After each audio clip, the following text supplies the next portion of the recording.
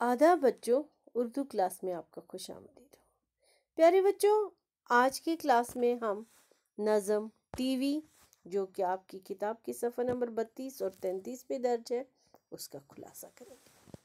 प्यारे बच्चों, नज़म टीवी में शायर कुछ ऐसा फरमाते हैं।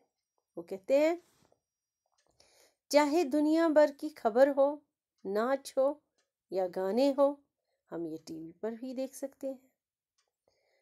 बच्चों के कहीं ऐसे प्रोग्राम आते हैं जो उनके दिल को खुश कर देते हैं। और बच्चों, कहीं ऐसे भी प्रोग्राम होते हैं जो अच्छी अच्छी बातें भी बच्चों को सिखाते हैं। ऐसा नहीं है कि वो नाच गाने ही दिखाता है टीवी, बल्कि कई अच्छी बातें भी सिखाता है।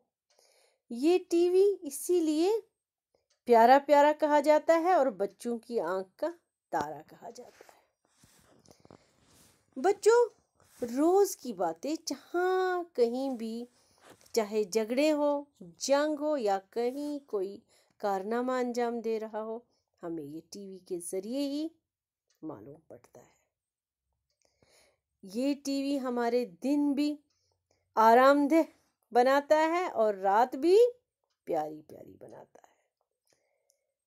बच्चों, रही बात इतवार की इतवार को तो बच्चे कुछ खाए, कुछ पिए, कुछ करे या ना करे, लेकिन टीवी पे अपने मन पसंदीदा प्रोग्राम देखना नहीं भूलते हैं। इसीलिए बच्चों, टीवी को प्यारा प्यारा और आँख का तारा कहा जाता है। बच्चों, आपको भी टीवी अच्छा लगता है ना? कितने प्रोग्राम देखते हो?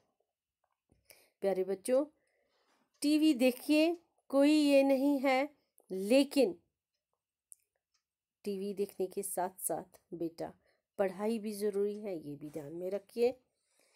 वक्त पे टीवी देखिए और वक्त पे पढ़ाई करिए। शुक्रिया बच्चों।